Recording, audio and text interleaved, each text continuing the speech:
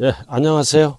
자, 오늘은 종합부동산세에 이어서 국세인 종합소득세와 양도소득세까지 이어갑니다. 자, 244쪽. 자, 종합자가 붙었네요. 자, 소득을 합산한다는 뜻이죠. 1번. 자, 1번은 뭐다? 국내에 주소가 없는 경우에도 1과세기간 1년이죠? 183일 이상 거소를 둔 자를 뭐다? 거주자. 그래서 거주자는 국내에 주소가 있거나 또는 뭐다? 1과세기간 1년 동안 183일 이상 거소, 거주하는 장소. 자, 소득세 납세지는 거주자는 어디로 간다? 주소지. 주소지가 없을 때는 거소지로 가고 자 거주자가 사망하거나 출국하면 소득세를 1월 1일부터 사망일까지 출국하면 출국한 날까지를 과세기간으로 하고 그리고 피상속인이 세금을 안 내고 돌아갔네요.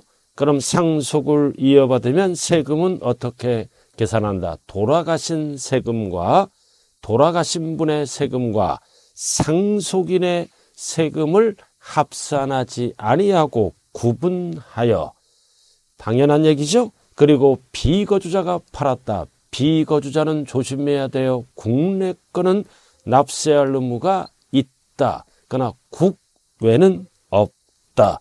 그래서 1번의 답은 5번이네요. 그래서 비거주자가 나오면 조심하자. 국외는 없다. 국내는 있다. 자, 그 다음 2번. 소득세법상 종합소득으로 합산나는 조세이다. 틀린 것. 그럼 소득은 8가지로 구분하죠. 이자 소득, 배당 소득 등등등등 8가지가 있어요. 이자, 배당, 사업, 근로. 근로 이런 거는 합산합니다. 합산해서 1년에 한 번 종합소득세를 내고 양도소득세와 퇴직소득세는 어쩌다 한 번 생기는 거죠? 사업과 관련이 없으므로 따로 분류과세한다. 합산을 안 합니다. 답은 4번이다. 항상 양도소득세는 다른 소득과는 합산한다 안 한다. 따로 구분해서 과세한다. 이런 거를 세법용어로 뭐라 그런다? 분류과세. 자, 그 다음 3번. 소득세법상 소득세에 관한 내용으로 틀린 거다. 자, 현행소득세법은 과세대상 소득을 뭐다? 여덟 가지로 구분한다. 이, 배, 사, 근, 연기, 퇴, 양. 여덟 건네요 그럼 여덟 개 중에 여섯 개는 합산하고 종합과세. 퇴직소득과 양도소득세는 완전히 별개로 분류하여 과세를 하죠. 자, 거주자 정의 나와 있고요. 자, 그 다음 3번. 부동산 임대입니다. 사업소득은 뭐다? 부부 단위로 합산한다. 틀렸죠? 모든 세금은 개인 단위로 합산합니다. 단 부부는 뭐 따질 때? 주택 수 따질 때만 합산합니다. 그래서 부부는 개인 단위로 과세하죠. 합산하여 틀렸네요. 합산하지 아니하여. 그래서 답은 3번이네요. 그리고 거주자와 비거주자는 국적과 관련이 없다. 그래서 외국인도 뭐다? 국내에 주소가 있거나 183 이상 거소를 두면 거주자가 된다라는 뜻이고요. 분류. 분류는 퇴직소득과 양도소득이죠. 다른 소득과 합산하지 않고 종류별로 구분하여 과세하는 방법 두 가지가 있네요. 그래서 정답은 3번입니다. 자, 그 다음 4번. 소득세법상 부동산 임대. 그래서 이거는 우리가 공부는 사업소득. 음. 그래서 사업소득은 여섯 가지 소득과 합산하죠. 그래서 사업소득은 합산해서 1년에 한 번 무슨 세금을 낸다? 종합소득세. 그래서 여기서 사업은 수많은 사업이 없지만, 있지만 뭐를 위주로 공부한다? 부동산 임대업. 자, 그 다음 자, 사업소득에 관한 설명으로 틀린 거다. 광원권자, 조건권자, 덕대 등이 채굴에 관한 권리, 즉 광산을 대여했죠. 광산, 부동산이잖아. 대여, 사업소득이다. 자, 그 다음 2번은 공익사업, 공익사업 법률에 따른 공익사업과 관련해서 지상권, 지역권을 대여합니다. 그래서 우리가 지상권, 지역권은 대여하죠? 대여하면 뭐다? 사업소득이네요. 사업소득이 돼서 종합소득세를 내야 돼. 지역권. 근데 이거를 무슨 관련이다? 공익 관련은 사업소득이 아니라 기타 소득이 된다라는 뜻이에요. 공익 관련은. 그래서 2번 별 하나 딱 붙여야죠. 세 번 출제되네요. 사업소득이 아니라 기타 소득이다. 뭐와 뭐 지상권 또는 지역권 이게 무슨 뜻이에요? 전철공사로 공익 관련이죠. 전철공사로 지상권이나 지역권을 대여하면 세금 내야 돼요. 사업이 아니라 세금을 줄이기 위해서 기타 자산. 그 다음 3번은 자기 소유 부동산을 담보, 담보로 포인트는 사용하게 하고 대여, 사업소득이네요. 그럼 전세금을 받아 이를 예금하면 이자를 받죠? 이자를 받으면 여덟 가지 소득 중에 이자 소득, 이자 소득, 이자 소득, 사업 소득이 아니다. 맞네요. 그 다음 공장재단을 패키지로 임대합니다. 부동산이죠? 대여, 임대, 사업소득이다. 그래서 정답은 2번 필수예요. 자, 그 다음 05번으로 들어갑니다. 소득세법상 거주자의 부동산과 관련된 사업소득에 관한 설명으로 옳은 것 1번 국외 자 국외나 고가주택은 뭐다? 과세한다. 주택수에 관계없이 과세 하지 아니한다가 아니라 한다. 국외권은 주거 안정 생활하고는 관련이 없다. 좌우간 국외가 나오면 조심하자. 무조건 과세한다. 그 다음 공익사업도 나왔네요. 공익사업 뭐를 대여했어요? 지역권 또는 뭐가 있다고 그랬어요? 지상권. 그럼 부동산업에서 발생하는 소득으로 한다. 틀렸죠? 소득으로 하지 아니한다. 즉 기타 소득이에요. 부동산 업에 발생하는 소득으로 하지 아니한다. 그 다음 부동산 임대는 사업이죠. 그리고 항상 납세지는 어디로 간다? 원칙이 주소지로 한다. 누구의 거주자의 주소지다. 자, 그 다음 4번 국내에 그래서 임대업은 비과세가 두 가지가 있죠. 전답을 작물 생산에 이용함으로써 발생하는 소득은 비과세. 그리고 1주택을 1주택을 어떻게 합니까? 소유했다. 월세를 받으면 비과세죠. 그래서 정답은 4번이네. 자, 그 다음 주거용 건물 두 글자로 뭐라 그런다? 주택. 손해가 났잖아요. 결손금. 그럼 타소득에서 종합소득 과세표를 계산할 때마다 공제한다. 그러나 영업용 건물은 상가 공제를 안 합니다. 주거용 건물 결손금 and 종합소득에서 공제한다. 아니한다. 틀렸네요. 그럼 정답은 4번. 자, 그 다음 6번으로 들어가죠.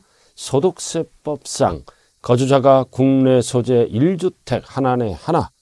자, 틀린 것. 자, 하나죠. 그럼 우리가 임대업에서 주의할 거는 상가는 무조건 과세합니다. 영업용 건물. 그러나 주택은 뭐다? 두 가지로 구분하죠. 월세를 받았느냐, 임대료를 받았느냐, 전세, 보증금을 받았느냐 따라 달라지죠. 한 채, 두 채, 세 채 이상. 이렇게 해서 월세는 한 채는 비과세, 두 채부터 과세가 되네요. 그 다음 전세는 몇 채부터? 세 채부터 과세가 되되 보증금 합계가 얼마 초가 3억 초가 딱 정리가 돼야 돼요. 월세는 금액과 관계없이 두 채부터 과세하고 전세금은 세 채부터 과세해야 돼 보증금 업계가 3억 초과 단 한 채더라도 국외 거 국외 거는 무조건 과세하고 한 채더라도 고가주택 고가주택은 뭐다? 과세한다. 이렇게. 그래서 고가주택은 9억 기준이죠 기준시가? 그럼 고가주택 한 채다. 월세 놓으면 비과세, 고가주택 한 채다. 전세 놓으면 과세합니다. 전세는 세 채부터니까. 자, 그래서 기준시가 10억 원, 고가주택이네요. 9억 원 초과 요건, 9억 기준, 10억 원이니까 범위니까 고가주택, 임대하고 지급받은 월세죠. 자, 전세란 용어가 안 들어갔네요. 임대하고 지급받은 임대료는 1번 사업소득으로 과세한다. 자, 그 다음 양도세입니다. 양도세는 고가주택이 실거래가액 12억 초과입니다. 임대업에서는 기준시가 9억 초과고 양도소득세에서는 팔았죠? 실지 거래가액 12억 초과 헷갈리면 안 돼요. 그럼 15억이니까 고가주택이죠? 법정 요건을 충족한 등기된 1세대 1주택은 최대 80%까지 공제받죠? 양도 차익의 최대 몇 프로? 24에서부터 최대 80%. 자, 우리가 양도세에서 3년 보유하죠? 필수가 장 3년 보유. 필수가 2년 거주해야 돼요. 그럼 1년에 몇 프로씩? 4%. 1년에 4%씩. 그럼 4, 3, 12. 12%. 그 다음 2년 실거주했으니까 8. 그래서 최저 20. 그리고 10년 보유하고 10년 거주하면 1년에 4%, 40, 40, 최대 80. 반드시 기억해야 돼요. 양도세 1주택, 고가주택 최저 20%, 최대 80% 가져간다. 뭐에? 양도 차익에. 그래서 최대니까 맞잖아요. 자, 그 다음 각과 우리 고가주택이 아닌 공동소유 1주택. 그래서 임대업에서는 뭐다? 공동소유주택은 지분이 가장 큰 자 소유로 계산합니다. 그럼 4대 6이네요. 그럼 누구 주택으로 본다? 을이 1주택을, 을이 1주택, 갑과 을 틀렸죠? 지분이 가장, 지분이 가장 큰 자. 만약에 5대 5라면, 50대 50이라면 각각 하나. 그러면 맞는 지문 50, 50. 4대 6이니까 갑과 을이 틀렸네요. 갑을 지워야 되겠네요. 자, 그 다음 4번. 1세 1주택. 무허가 주택이죠? 자, 무허가 주택은 등기를 하고 싶어도 불가능하잖아. 그러니까 미등기로 본다 보지 아니한다 보지 아니한다. 자 그리고 5번은 소유하고 있던 공부상 주택인 1세대 1주택을 전부 영업용 건물 세법은 실질과세 원칙이죠. 공부와 사실이 달세는 사실상 현황에 따라 부과합니다. 그럼 영업용 건물은 과세한다. 하나로 본다 보지 아니한다 보지 아니한다. 그래서 정답은 몇 번이다? 3번이 되겠네요. 자, 그 다음 7번으로 들어갑니다. 자, 소득세법상 거주자의 부동산 임대와 관련하여 발생한 소득에 관한 설명으로 틀린 거다. 1번, 고가주택이네. 그럼 고가주택은 9억 기준은 어느 시점에서 따진다? 과세기간 종료일 현재 12월 말 현재 음, 납기 개시하면 틀려요. 그래서 9억 기준은 실거래가액이 아니라 임대니까 기준 시가다. 그래서 실거래가액에 속지 말자. 그럼 답은 1번이네. 그 다음 사업자가 부동산을 임대하고 임대료 외에 외에 전기료, 수수료, 공공요금은 이거는 소득에서 공제를 해주죠. 근데 공공요금의 납부액을 초과합니다. 초과해서 받았을 때 초과하는 금액은 총 수입금액에 어떻게 한다? 산입해서 종합소득세를 내야 된다. 초과 부분은 세금 내라 이거죠. 자, 그 다음 2주택과 상업용 건물이죠. 그럼 보증금을 받았다. 전세입니다. 두 채. 월세를 주고 두 채. 주택입니다. 주택 상가 영업용. 그럼 두 채. 월세죠? 상가는 무조건 과세. 그럼 월, 저, 두 채, 월세 났네요. 아, 월세, 저, 전세라고 가정하죠. 상가는 무조건 과세. 그러나 월세 놓으면 뭐다? 두 채부터 과세. 그러나 중요한 거는 전세 놓죠? 세 채가 아니니까 비과세. 그럼 이 지문은 전세금, 보증금이죠? 물어보니까 주택은 과세를 안 합니다. 상업용 건물만 과세한다. 그럼 3번은 상업용 건물을 물어보니까 과세한다. 그래서 보증금을 이자로 계산하죠. 이자가 뭐다? 간주 임대료 총 수입금액에 산입한다.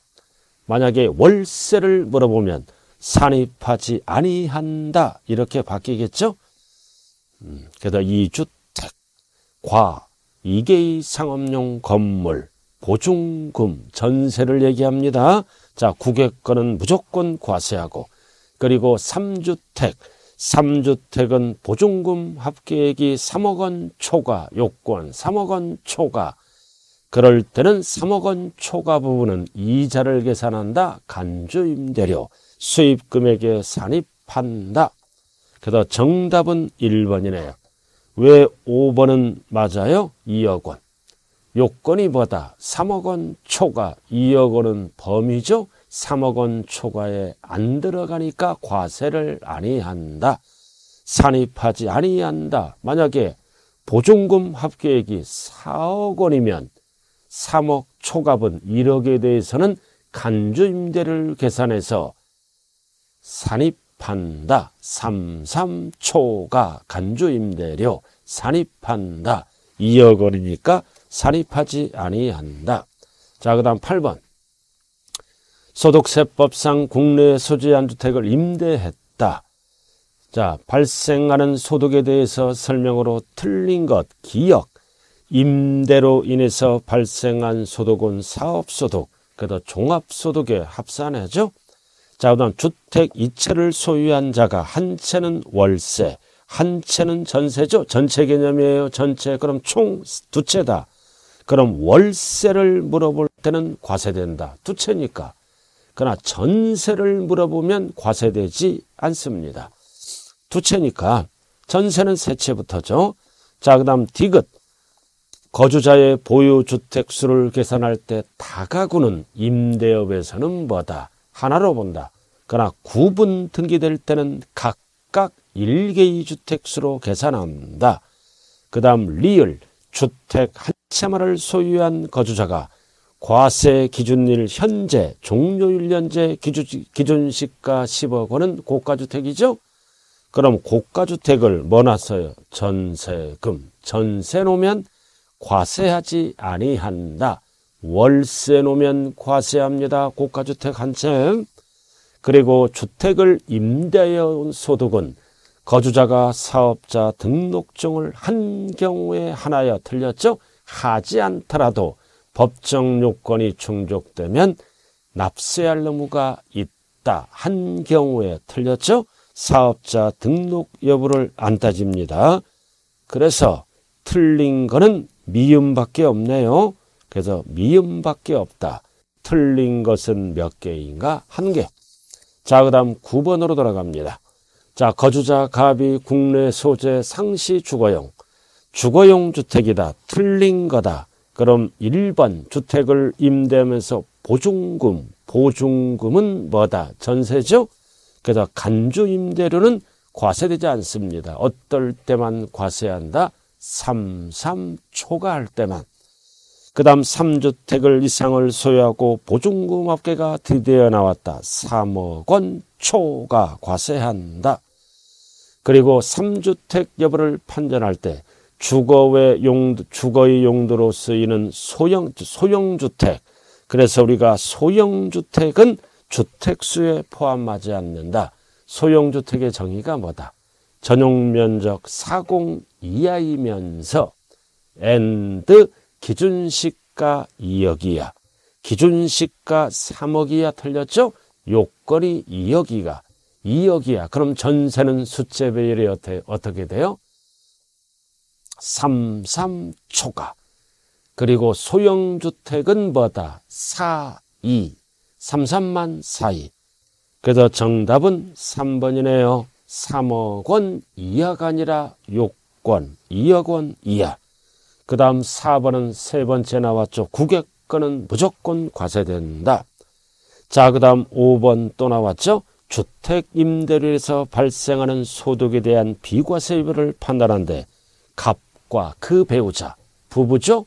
자, 부부는 뭐를 따질 때 주택수를 따질 때는 각각 하나가 아니라 합산하여 계산한다. 그러나 세금을 계산할 때는 각각 계산합니다. 주택수 합산한다. 그래서 정답이 3번 이네요. 자, 그 다음 10번으로 들어갑니다. 자, 소득세법상 거주자가 국내 소재 부동산을 임대하여 발생하는 소득에 관한 설명으로 틀린 거다. 지상권이나 지역권은 일반적인 대여는 무슨 소득이다? 사업소득에 포함한다. 그러나 공익 관련 대여하면 기타 소득이에요. 주의하시고요. 자, 부동산 임대업에서 발생하는 소득은 사업소득이고요. 자, 그 다음 3번은 뭐다? 주거용 건물, 임대에서 발생한 결손금은 종합소득 계산할 때 공제하죠? 근데 다만 임대업에서 발생한 2월 결손금 미공제분이 남아있어. 손해가 났다고요. 그래서 공제를 하더라도 결손금이 남아있을 때는 내년으로 넘어간다. 2월 결손금과 주거용 건물 임대에서 발생한 2월 결손금은 15년간 어쩌고 저쩌고 공제할 수 있습니다. 자, 첫 번째, 임대업에서 발생한 소득은 종합소득에서 공제합니다. 공제하더라도 미공제분은 내년으로 넘어가서 내년으로 넘어가서 2월 결손금 15년간 공제한다. 사업자니까. 그래도 우리가 사업하다 손해가 나죠? 손해가 나는 거는 2월 내년으로 넘어가서 15년간 공제를 해준다는 뜻입니다. 그 다음 4번 부부가 각각 1주택을 갖고 있다. 자 1주택이다. 각각 그럼 전체는 두 채. 그럼 금액과 관계없이 무조건 과세한다. 그래서 과세 소득은 있다 없다 있다 과세한다는 뜻이에요. 자 그리고 5번 임대보증금의 간주임대료 항상 보증금은 이자를 계산한 게 간주임대료죠.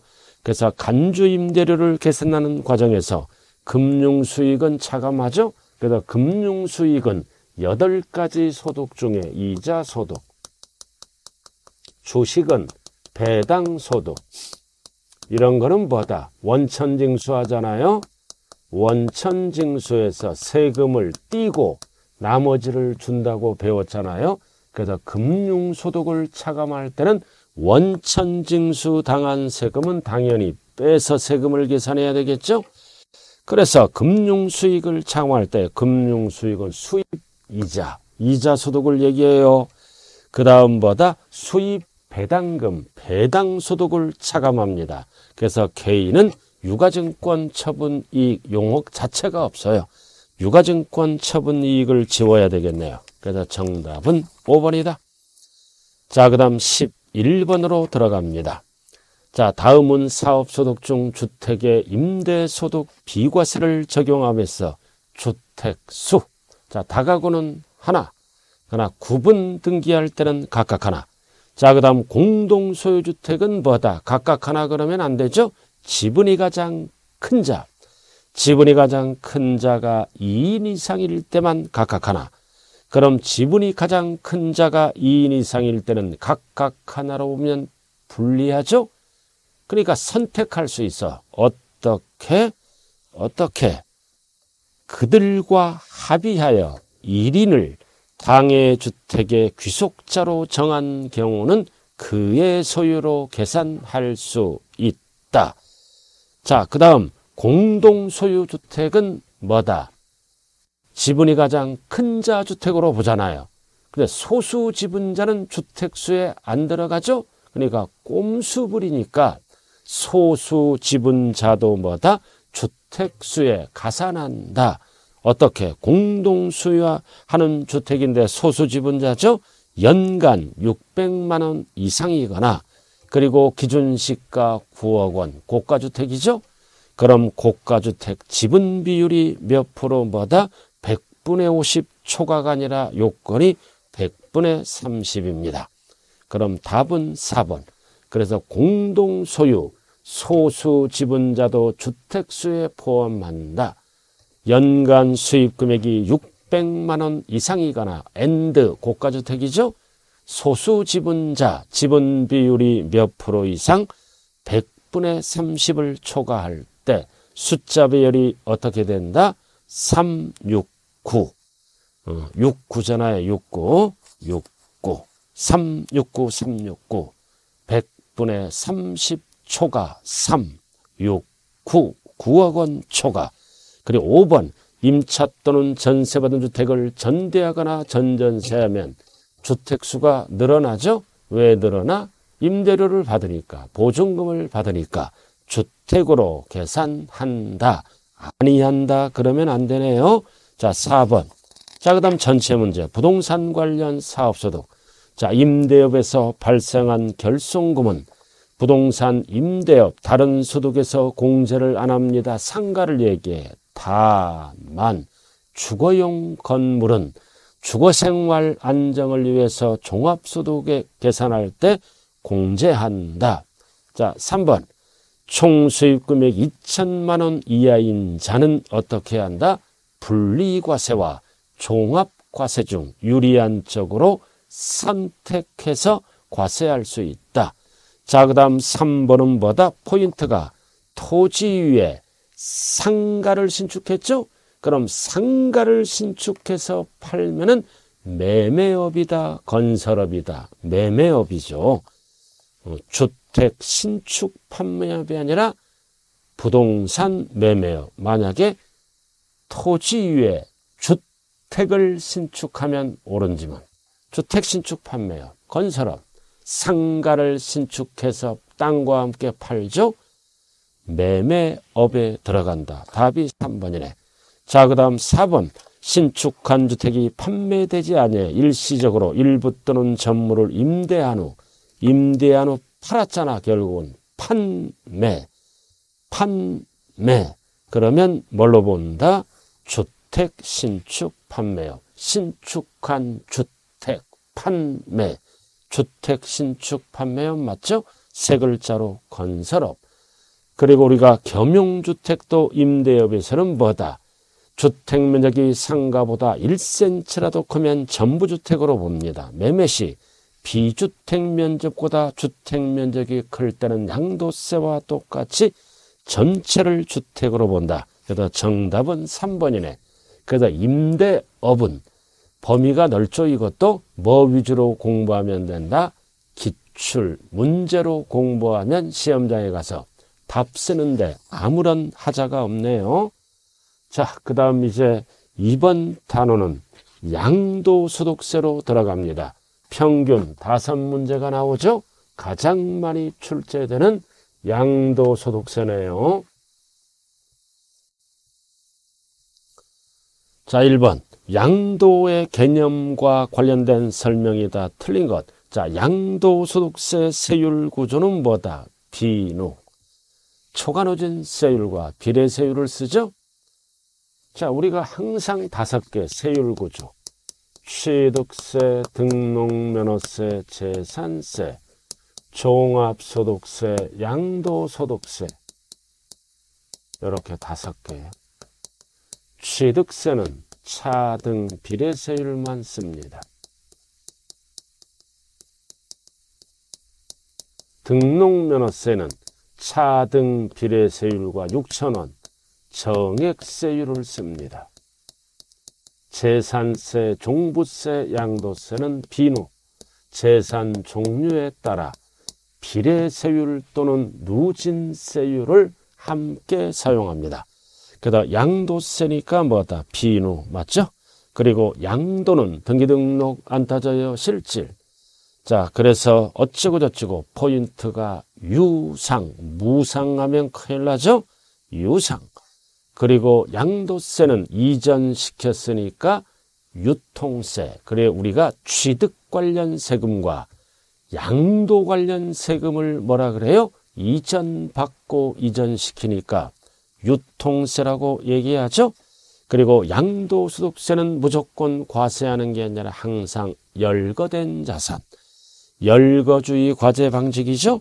그리고 5번은 거주자 양도소득입니다. 양도소득은 따로 과세합니다. 투기 목적이니까 퇴직소득과 종합소득과 합산하여가 아니라 구분하여 양도세만 따로 계산합니다. 이거를 네 글자로 뭐라 그런다?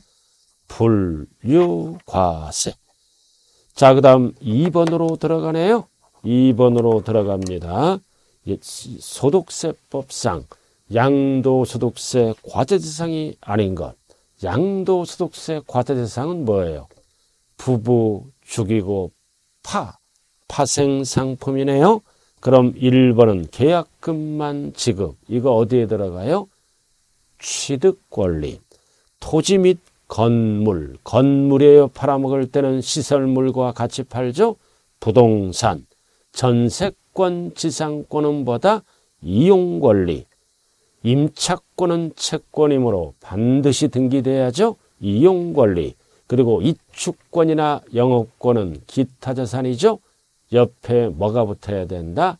함께 부동산과 함께 양도하면서 이축권에 대한 권리금을 챙긴 거예요. 함께 5번은 어디에 들어간다? 기타 자산. 정답은 4번. 임차권은 국내권은 등기를 따집니다. 등기된. 그러나 국 외라고 나오면 모두 다 정답이네. 국내니까 답이 4번. 그럼 국외라고 나오면 정답 없음. 국외는 실질로 등기미 등기 안 따지니까 국외는 조심해야 돼요. 자, 그 다음 03번으로 들어갑니다. 소득세법상 양도소득에 해당하지 않는 것. 1번 포인트가 뭐다? 배타적으로 또는 유리한 조건이 나오면 양도세 대상 중에 무조건 무슨 자산이다? 기타 자산. 유리한 조건. 주식도 유리한 조건이 부여되면 기타 자산. 전세권, 주상권, 임차권은 반드시 등기돼야 돼요. 등기된. 자, 3번은 포인트가 영업권, 단독 틀렸죠? 부동산과 함께 양도해야 됩니다. 단독 X. 나머지는 다 맞는 지문. 3번이네요. 자, 그 다음 4번. 똑같은 문제예요. 틀린 것. 지상권은 양도세 대상이다. 지역권은 아니다. 지역권은 양도세 대상이 아니에요. 지상권, 전세권, 등기된 임차권. 그 다음 무상. 유상이 양도죠? 무상은 아니다. 주식. 자, 주식도 배타적 또는 유리한 조건이 붙으면 대상이다. 기타 자산에 들어갑니다. 그리고 영업권, 이번에는 지대로 나왔네. 함께 기타 자산. 그래서 정답은 2번이네요. 자, 그 다음 05번으로 들어갑니다. 소득세법상 양도소득의 과세대상 재산을 모두 골라라. 국내 거네요. 국내 겁니다. 국내. 자, 국내 거다 박스. 영업권 반드시 괄호 함께 분리 X. 자, 그 다음 임차권 미등기 X. 국내 거니까. 그 다음 디그는 뭐다? 취득권리 O. 지역권 X. 전세권이나 지상권은 용익물건이죠. 세법은 실질로 따진다. 지상권, 전세권은 등기불문, 그래서 미등기도 과세 대상에 들어갑니다. 그래서 모두 그런 것 5번의 답은 몇 번이 될까요? 네, 1번이네요. 그죠? 1번 티귿 미음 나머지는 대상이 아니네요. 자, 그 다음 6번. 소득세법상 거주자의 양도소득세 과세대상이 아닌 것. 자, 주식 대상이죠. 자, 누가 팔았어요? 대주주. 주권 상장 법인 대주주는 과세합니다. 소액주주가 과세를 안 합니다. 대주주와 소액주주 구분하고 주식은 자, 2번 또 나왔다. 영업권 함께 무슨 자산? 기타 자산. 콘도 회원권, 기타 자산, 파생 상품 등 양도세 대상이죠. 자, 부동산 매매업자가 상가를 팔았다. 업자가 팔았죠. 이거는 양도소득이 아니라 사업소득, 사업소득, 부동산 매매업이 되겠네요. 종합소득세를 내야 됩니다. 그럼 과세 대상이 아닌 것은 정답이 5번이 되겠네요. 자, 그 다음 7번 과세 대상이 아닌 것 현물 출자. 자, 현물 출자는 뭐예요? 현금 대신에 물건을 출자해서 법인으로부터 주식을 교부받는 거죠. 급 부에 대한 반대 급부가 있으면 무조건 양도로 본다. 토지 건물 주고 주식이란 반대 급부가 있죠. 양도로 본다. 과세 대상이다. 신탁 수익권도 과세 대상이다. 임차권 등기된 것도 과세 대상이다. 그러나 환지 처분 또는 보류지 충당은 뭐다? 양도가 아니다. 공익사업을 원활하게 이행하기 위해서 환지 처분된 토지, 보류지 충당된 토지는 양도로 보지 아니한다. 고로 과세 대상이 아니다. 그럼 7번의 답은 4번. 영업권 계속 반복되네요. 함께. 그럼 기타 자산. 정답은 4번이네요. 자, 그 다음 8번. 소득세법상 양도소득세 과세 대상이 과세 대상에 해당하는 것 중 틀린 거예요. 음. 틀린 것. 1번. 환지 처분된 토지 보류지는 양도가 아니다. X. 그 다음 니은 보다 이온 유자료는 양도로 본다. 5. 그 다음 디귿은 보다 재산 분할은 양도가 아니다. 부부의 공동재산을 나눠 가졌잖아요. X. 그 다음 이축권 함께 가야죠. 별도로 평가하면 X. 부동산과 함께 평가를 해야 돼요. X. 자, 미음. 주거용 건설업자가 판매할 목적으로 신축한 다가구 주택. 이거는 주택 신축 판매업 사업소득이죠. 종합소득세를 내게 됩니다. 그럼 틀린 거는 5번이네요. 위자료 빼고 다 양도세 대상이 아닙니다. 기억, 디귿, 리을, 미음. 자, 그 다음 09번. 다음 중 소득세법에 따라 양도소득세가 과세되는 경우 거주자 A는 나왔다 위자료. 항상 위자료로 이전시켰을 때는 차량하면 안 돼요. 양도세 과세 대상을 이전시켜야 됩니다. 그다 비상장 주식 맞죠? 그럼 차량을 이전하면 틀린 지문이에요. 자, 그럼 1번 양도로 본다. 과세된다. 그 다음 거주자 2는 자녀에게 본인 소유 토지를 무상, 무상은 증여입니다. 자, 그 다음 골프 회원권을 양도 담보로 제공했다. 그럼 양도 담보는 뭐다? 빚값을 통한 만큼은 담보로 본다. 양도가 아닙니다. 그 다음 사업자잖아. 사업용으로 기계장치를 처분했다. 이거는 사업소득의 사업소득. 그래도 기계장치는 양도와 관련이 없다. X. 음, 기계장치는 대상이 아니다. 자, 그 다음 건설업, 주택을 신축, 판매했다. 이거는 양도소득이 아니라 사업소득입니다. 사업소득. 그래서 정답은 1번밖에 없네요. 자, 그 다음 10번. 소득세법에 따라 양도소득세가 과세되는 것. 1. 사업자인 거주자용은 사업용으로 사용하던 뭐다. 차량을 처분했다. 그래서 차량은 양도가 아니죠. 부동산을 처분해야 돼요. 차량, 대상이 아니다. 그 다음 거주자 무는 자기 소유 토지를 경매, 그 자기가 재취득하면 공경매는 원칙은 양도예요. 그러나 자기가 재취득하면 물상담보, 소유권하는 양도로 보지 않습니다. 그냥 공경매는 양도로 본다. 본인이 재취득하면 양도가 아니다. 자, 그 다음 3번은 거주자 병은 소유의 토지를 동생에게 지매하면서 토지에 대해서 은행 대출 채무를 인수했다. 이거 부담부증이죠? 그럼 채무는 뭐다? 양도로 본다. 채무를 제외한 나머지는 증여로 본다. 채무는 양도로 보내요. 답이 3번이네. 4번 건설업. 아파트를 신축했다. 양도소득이 아니라 주택 신축 판매업, 건설업이죠? X. 자, 그 다음 이혼하면서 위자료다, 재산분할이다. 재산분할은 양도가 아니다. 위자료가 양도입니다. 그래서 정답은 몇 번? 3번. 자, 그 다음 260페이지 11번.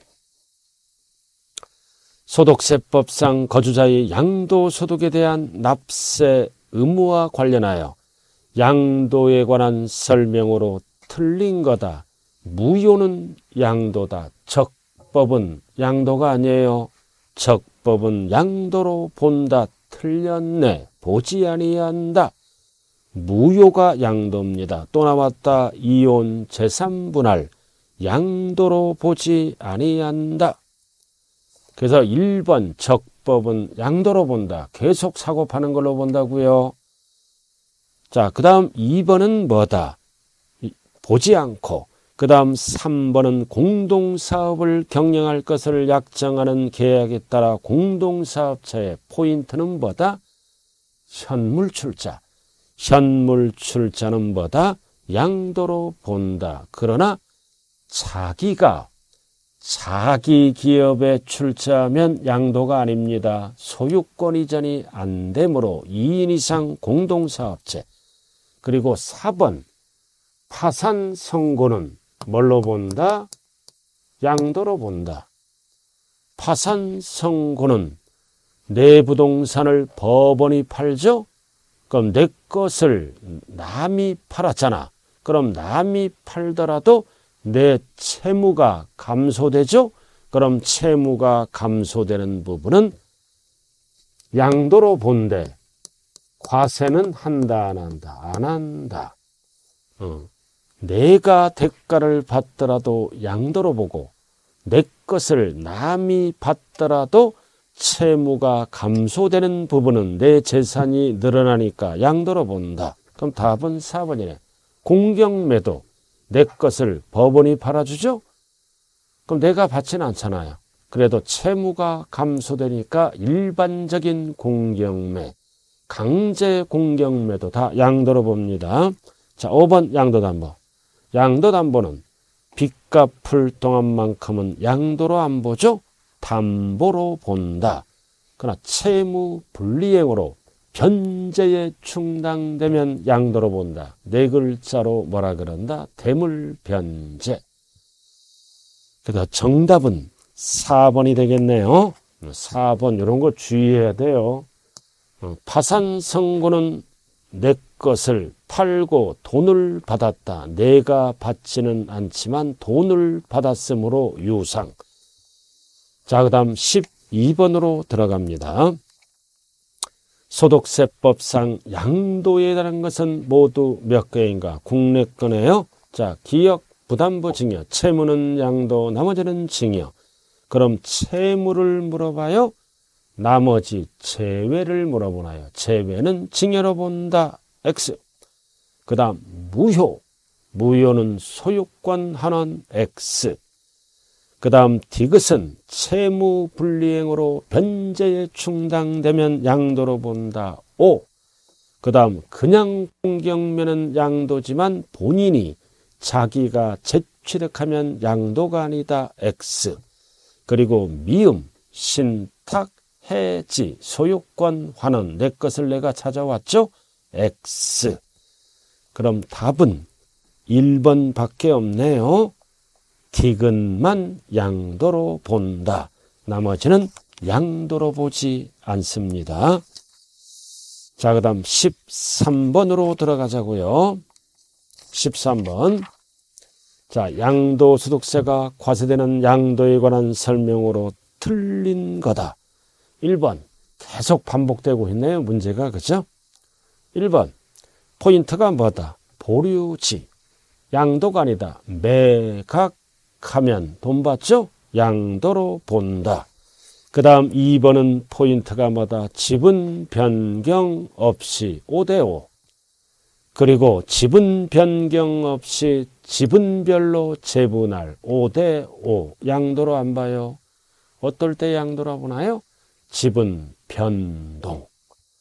지분 변경. 이거는 5대5. 자, 그 다음 3번은 유상, and 등기 등록을 조건으로 하지 않습니다. 실질로 따진다. 자, 4번.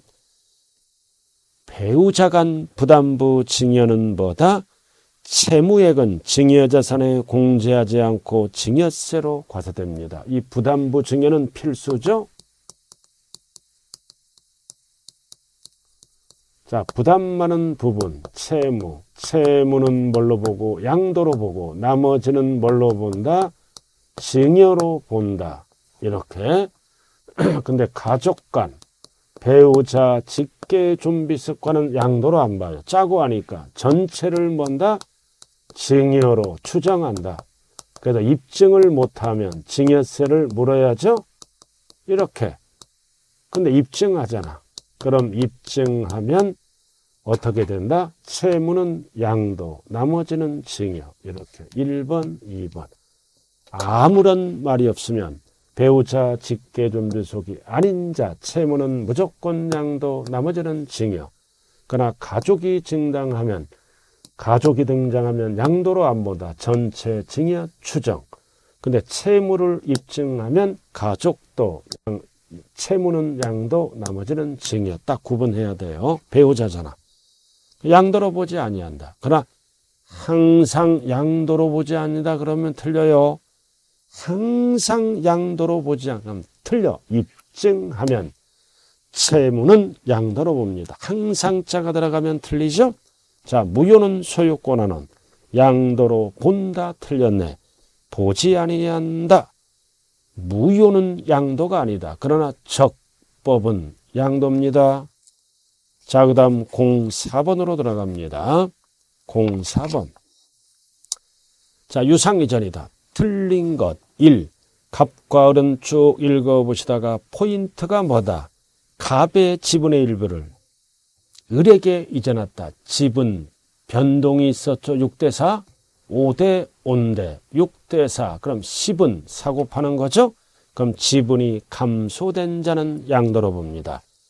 포인트가 뭐다? 대가를 받았다면 대가를 대가가 없다면 징여로 보고 그 다음 2번은 뭐다? 뭐다? 뭐야 이거 채비지 음. 공사비를 공사비를 현금으로 지급했죠? 그럼 대물변제죠. 공사비는 금전으로 줘야 돼. 그럼 뭘로 줬다? 토지로 주면 대물변제 양도로 보내요. 자, 그 다음 3번 일반적인 교환은 양도입니다. 그러나 지적 경계를 변경하기 위한 양도는 대통령령으로 정하는 경우는 양도로 보지 않습니다. 대통령령이 교환하는 면적이 20% 이내가 돼야 된답니다. 초과되면 양도로 보고요. 그 다음 4번 또 나왔네. 이혼, 위자료는 양도로 보아 과세되고 그 다음 5번은 현물 출자인데 개인, 자기 기업에 출자하면 양도로 보지 않는다. 소유권 이전이 안 되므로 그래서 정답은 몇 번밖에 없다. 3번. 어, 토지의 경계, 경계를 변경하게 교환은 양도로 보지 아니한다. 자, 그 다음 15번. 자, 소득세법상 아들, 아버지로부터 아들, 아들이 부동산을 아버지로부터 아들, 그럼 가족 간의 부동산 이전은 원칙이 뭐다? 징여 추정. 대가가 없다. 징여세를 물어야 돼요. 그러나 가족 간에도 입증을 하면 입증을 하면 양도세를 물어야 되고요. 자, 그럼 1번 가족 간의 공경매는 대가가 나가는 거죠? 유상. 그 다음 2번은 가족 간의 교환도 유상 양도로 봅니다. 파산 선고 가족이 파산 선고를 받고 가족이 이전 받죠. 대가가 나가니까 유상. 그 다음 대물 변제했어. 근데 입증을 못 했네. 입증을 못 하면 징여세를 물어야 됩니다.